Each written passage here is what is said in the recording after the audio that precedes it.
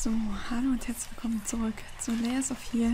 Ähm, sie ist immer noch in der Erinnerung der Tochter. Also wir sind gerade ein kleines Kind und ähm, wir haben eine zerstörte Flasche gefunden. What the hell did you do? Oh, you didn't mean to. Well, that makes it all better, doesn't it? It'll just magically unbreak because you didn't mean to. Go on, get out of here. Go to your room and break shit in there. Just take all your toys and smash them, one by one. And keep at it. Maybe you'll finally get good at something. Haben wir uns nicht für die Mutter entschieden?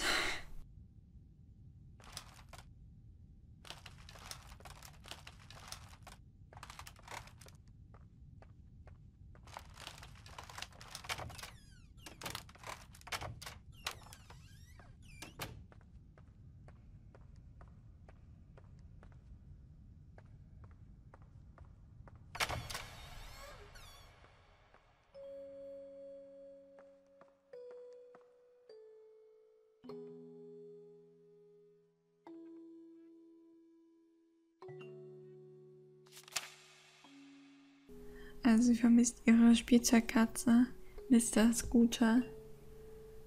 Und man bekommt dann alle Puppen.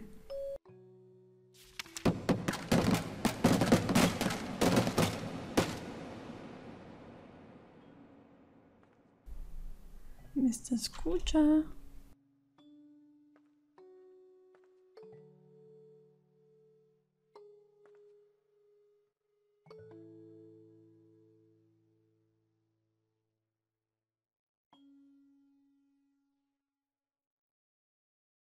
Wird wahrscheinlich nur von mit irgendwelchem Zeug einfach überhäuft. Sie ähm, ist aber sich selber überlassen. Ne?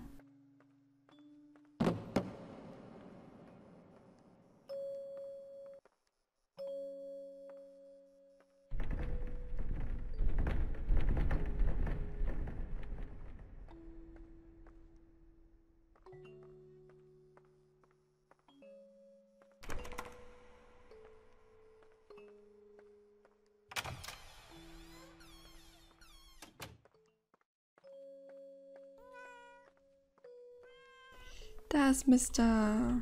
Wer ist da nochmal? Mr. Scooter. Scooter? Scooter. Das sieht so aus, als würden wieder hochkommen.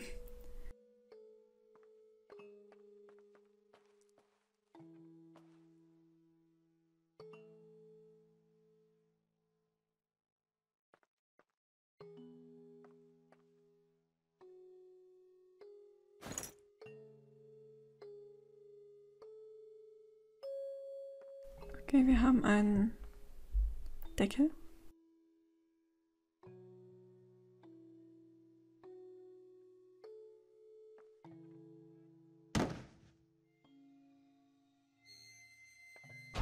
Oh Gott. Scooter. Ich habe hier was für dich.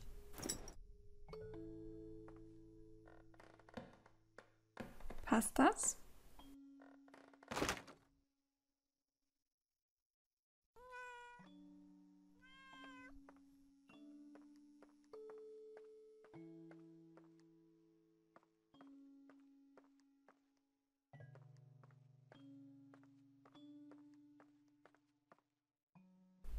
Gehe, glaube ich, nochmal hoch, weil ich bin mir nicht sicher, ob wir da ähm, schon alles ausgetestet haben.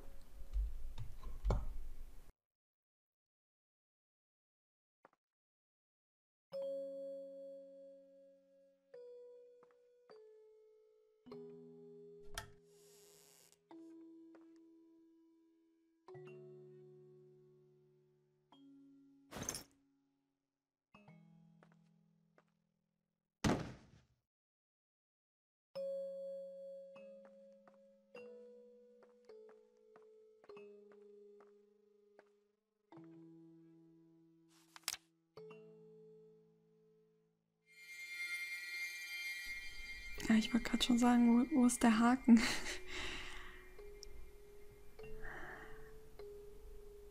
Das Kind steht zwischen den Eltern. Die Eltern streiten sich und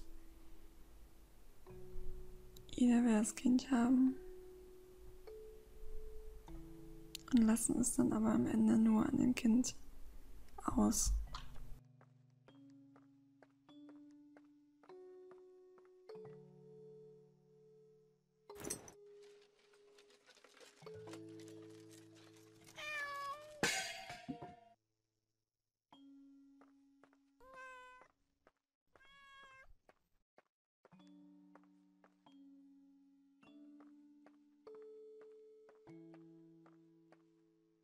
Ist mir schon wieder zu viel Tierbezug.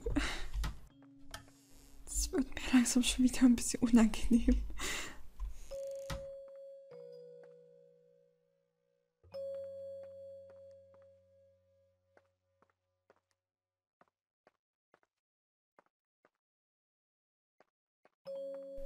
Oh, da.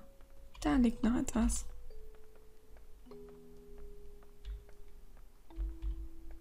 Möchte da hoch.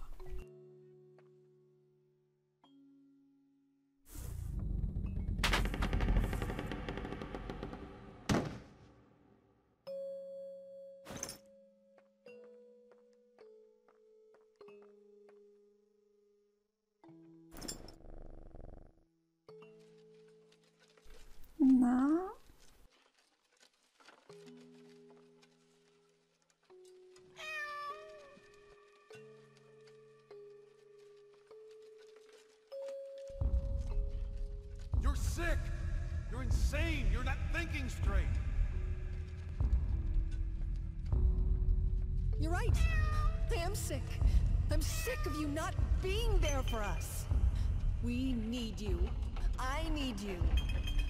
When was the last time you slept with me? Christ, when was the last time you even touched me? Do you know what that does to me? To, to know that my own husband is disgusted with me. Well, excuse me if I've been too busy working my ass off trying to provide for this family. But no, you're right. It's much more important to whisper sweet nothings in your ear. You, you call that work? You, you lock yourself in there for hours, days. You, you come out looking like shit, stinking of booze and stale piss.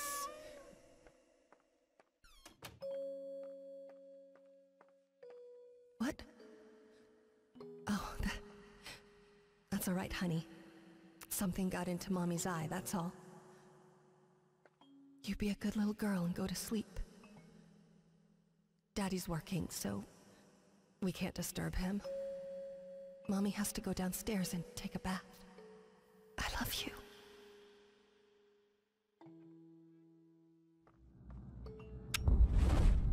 More than a wife, she was first and foremost his muse. Her beauty and talent drove him. After the accident, she became a burden. A disgusting monster screeching out from her bed. An anchor weighing him down. Äh, jetzt hätten wir quasi auch ähm, unsere Antworten bekommen. Ja, schlimm, sch schlimm.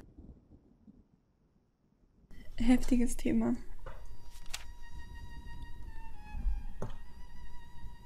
Das Kind ist alleine.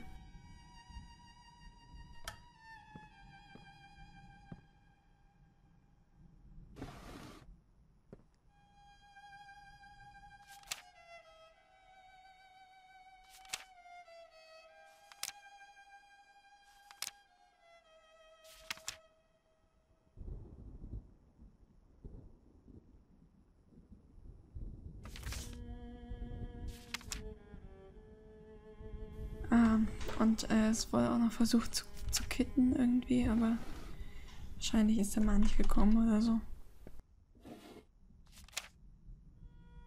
Oh Gott, Testament.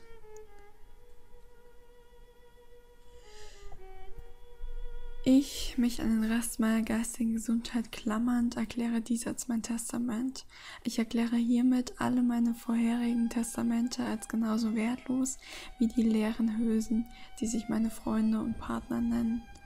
Meinem Agenten Thomas Cordray vermache ich das teuflische Ungeziefer, das in meinem Hause nistet in meinem Haus nistet und bete darum, dass genauso endlos an ihm nagt und ihm das Blut aussaugen wird, wie es das mit mir getan hat. Meinem Verleger Liam Brickstone vermache ich die Flammen, denen die Liebe meines Lebens zum Opfer gefallen ist, und ich hoffe, dass sie ihn zusammen mit der elenden Schlampe und dem kreischenden Balk, die er seine Familie nennt, einäschern werden. Meinem Rechtsanwalt James Jerome Sattler äh, vermache ich die Krankheit, die meinem Verstand und mein, die meinen Verstand und meine Seele verrotten ließ, damit er sich genauso leer und nutzlos fühlen kann, wie er dies für mich gewesen ist. Allen sonstigen Schmarotzern, die aus dem Gebälk kriechen, hinterlasse ich nichts. Zur Hölle mit euch allen. Zu guter Letzt vermache ich dir, meiner geliebten Tochter, meine gesamten irdischen Besitztümer, was auch immer sie wert sein mögen, hoffe ich, dass sie dich inspirieren werden, dein wahres Potenzial zu erkennen. Das letzte und kostbarste Geschenk jedoch kann ich dir nicht geben, das musst du selbst entdecken. Ich glaube an dich, wie ich es immer getan habe. Okay, also seine Tochter hat er trotzdem scheinbar noch ein bisschen geliebt, obwohl er mit ihr natürlich nicht gut umgegangen ist. Aber das, ähm, ja, das, das war der Frust. Der Frust, dass irgendwie alles andere untergeht.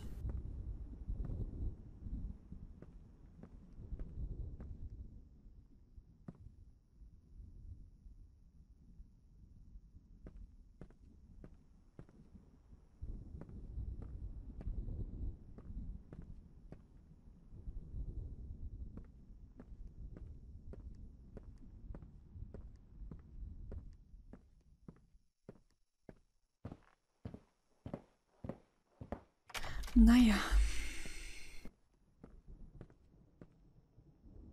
Das Kinderzimmer ist leer.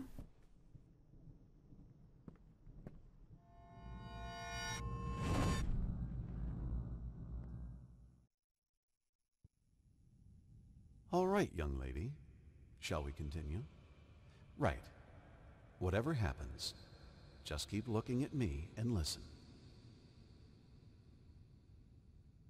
Now, where was I? Ah, yes. The princess was all alone in the dark. And yet... and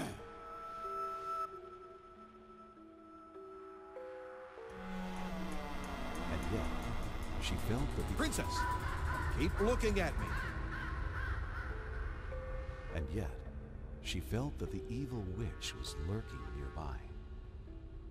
As her eyes adjusted to the darkness, she saw something moving in the corner of her eye. And yet, she did not dare to move, for she knew that that would be the end of her. The princess heard a fearsome growl.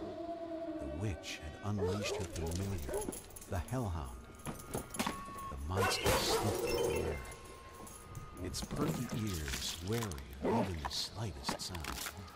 The princess remained motionless, letting the monster pass. There was a stillness in the air.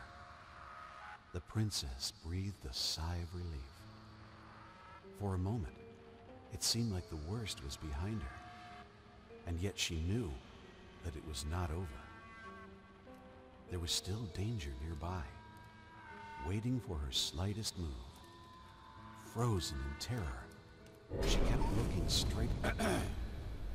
Ich schau geradeaus. Frozen in terror, she kept looking straight ahead. Suddenly, she heard a terrifying cackle. It was the evil witch herself. The wretched thing despised beauty and innocence, for she had neither. The hag was near, just outside of view, but our heroine didn't dare to look. she had to keep her head straight, lest she be cursed by the witch's foul magic. She could almost feel the chilling touch of the witch's hand at her neck. She felt a sudden urge to Don't fail me now, princess. Ich, ich schaue doch gerade aus. She felt the sudden urge to run away. Oh Gott, ich muss hier total dagegen fought with arbeiten. all her will, for she knew that was precisely what the witch would have wanted. And then, just like that, the chill was gone. She saw a glimmer of light over the horizon. The sun was almost upon her. It was almost dawn. It was almost over. And there, the princess stood triumphant in the sun, smiling as she... Wait. That's not right. Her face. Why is she still scared? Oh, God. I didn't mean to... Princess, I am so sorry. Hier das It's not that he was cruel. It's just that, to him, reality was just a pale reflection of art. He was blind to the world, unless it was translated to him through a canvas.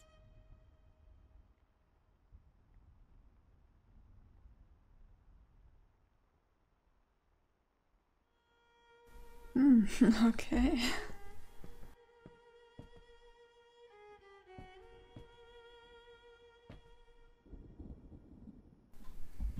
Wir gehen weiter.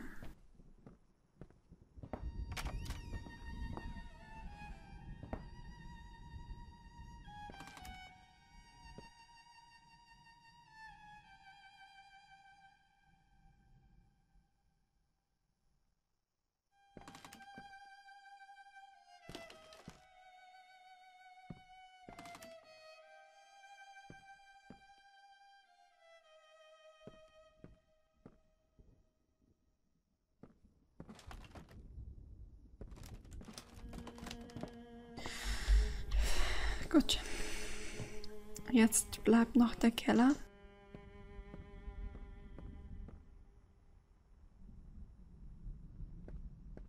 Bevor wir nach unten gehen, gehen wir doch in diesen einen Raum, oder? Also wir gucken mal, ob der offen ist. Der ist zu. Gut.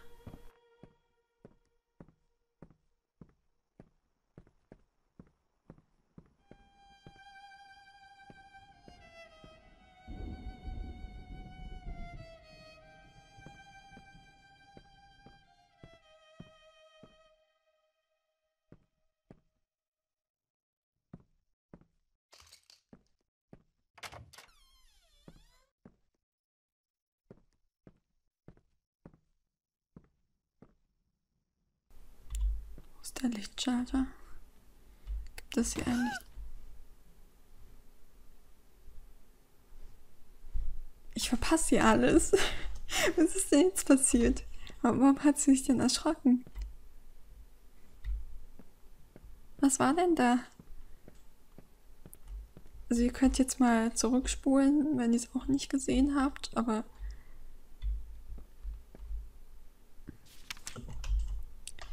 Was ist denn das für eine Schrift, bitte? Das, das kann ich ja wirklich nicht erkennen.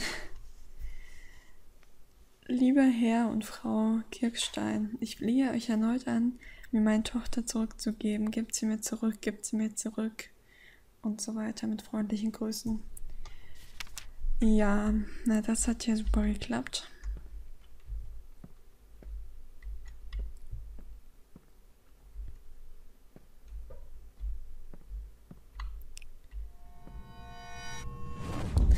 Zum Glück kam sie nicht zurück. Das ist der Vater, ne? No, that's not how it went. Ja.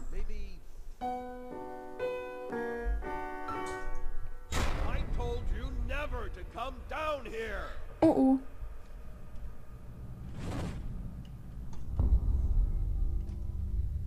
Okay.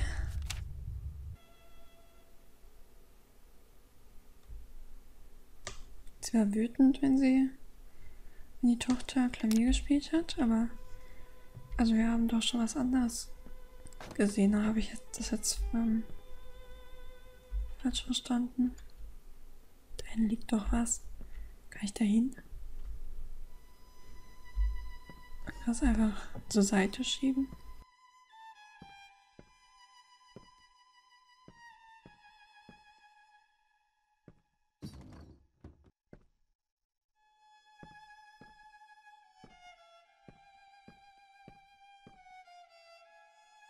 Gut, ich glaube, das war es auch jetzt schon wieder mit dieser Folge.